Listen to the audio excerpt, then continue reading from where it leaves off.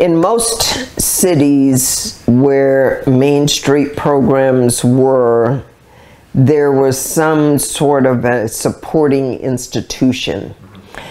The best example I have to show you locally is what happened with Fort Worth South. Fort Worth South was successful because it was in the hospital district. And it had all of that um, to fall back on.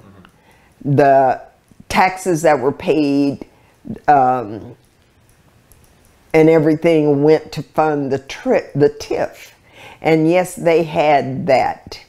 We had a young man who had a background, but just not enough of a background, I don't believe, to um, really take the organization to where it could have been.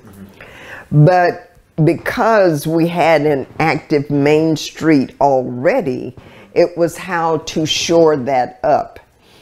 Um, the things that you want to do, the businesses were somewhat reluctant to engage in because of the cost of doing it.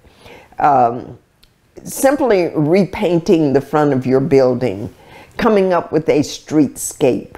But we were able to do things like the sidewalk and to do the brick sales, which helped pay for getting all of that laid out. Uh, we got new uh, street lamps, uh, trash receptacles, those kinds of things that you would think would help make a, a street become more vibrant.